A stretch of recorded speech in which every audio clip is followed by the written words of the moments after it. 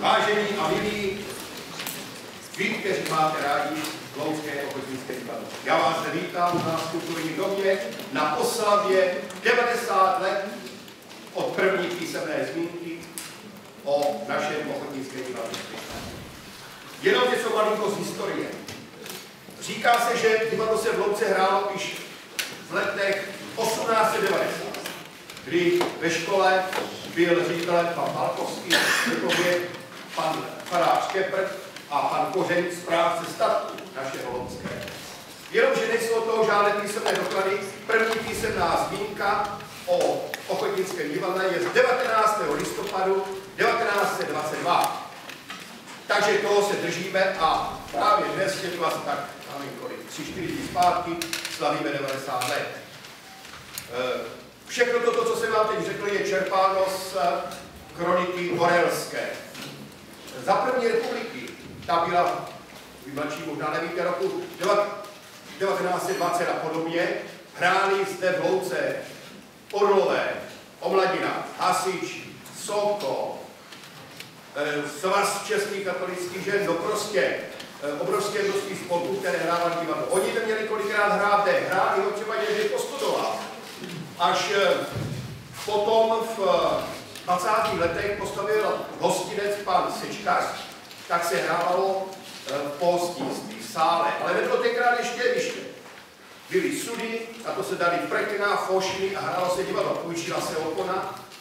Až v roce 1956 se tento sál rozšířil o jeviště, takže už to divadlo mělo tenkrát takovou, bych trochu řekl, kulturu, jak by vypadalo. To jeviště bylo otevřeno hrou Strakonický dudá od Kajetána Píla.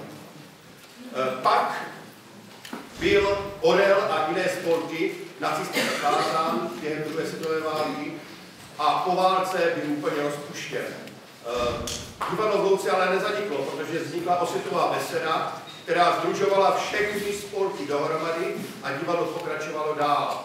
Pokračovalo až do dnešní doby samo sebou, ale takový milník byl ještě rok 82, kdy se postavil tento kulturní dům a e, toto pěkné jeviště na tu, na dobu moderní, za tehdy předsedování místního národního výboru pana Kovacie, který byl obrovský fanda, obrovský fanda divadla.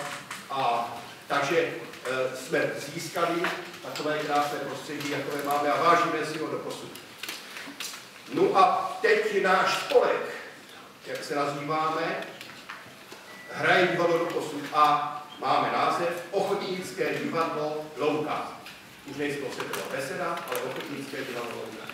Takže nepřetržitě 90 let s malinkou přestávkou, eh, kdy zemřel pan režisér Sečkař.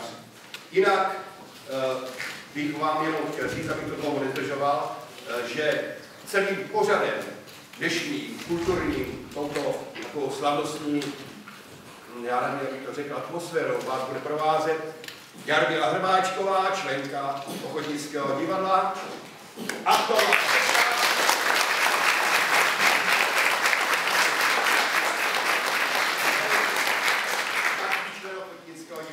No a tímto já jim předávám slovo a vám všem přeji hezký kulturní zážitek.